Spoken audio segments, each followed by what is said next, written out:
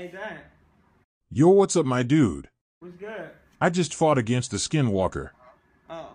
Hey, did something come in the mail today? Just those big ass dildos you wanted. come in the mail today?